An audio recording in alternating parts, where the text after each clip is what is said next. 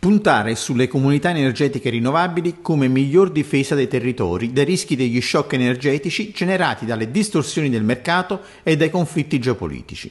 E questo è il mood emerso dal confronto nella sessione pubblica dell'Assemblea nazionale di Confcooperative Consumo e Utenza, dedicata in particolare ai temi dell'energia. Noi dobbiamo partire proprio dalle comunità, cioè comunità energetiche è fatto di due parole, comunità ed energia. Noi dobbiamo partire da lì, se vogliamo risolvere il problema di questa energia importata e non autoprodotta sul territorio, noi dobbiamo partire proprio da fare le comunità e poi dopo che abbiamo fatto le comunità fare l'energia, cioè questi sono i due punti fondamentali, crediamo che sia possibile solo attraverso la radicazione nei territori di questo argomento. Il mondo della cooperazione si muove sulle tematiche energetiche sia con la forza di un'esperienza di lungo periodo, basti pensare al ruolo rilevante svolto tuttora dalle cooperative elettriche storiche, sia con la lungimiranza di una visione progettuale. Sulle comunità energetiche, infatti, Confcooperative ha avviato un lavoro di analisi sui territori già da alcuni anni, fin dalle prime indicazioni dettate dalla direttiva europea in materia. Abbiamo creato dei modelli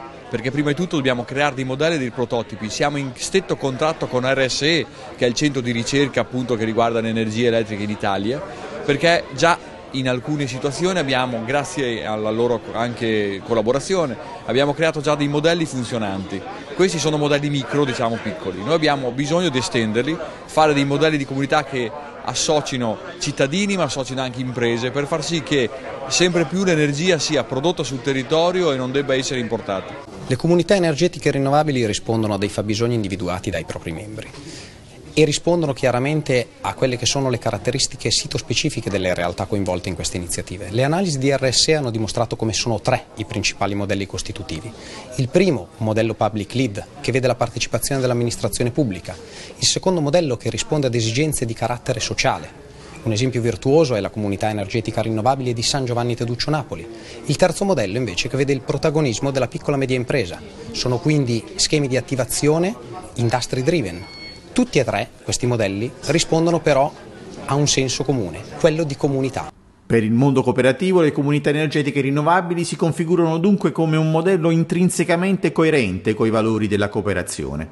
Non ci sono dubbi sul fatto che oggi per salute, clima, prezzi, indipendenza strategica l'Italia debba accelerare sulle comunità energetiche, che è una modalità in cui i consumatori diventano prosumer, sono più partecipativi, sono più generativi, quindi è un modo per aumentare la felicità collettiva.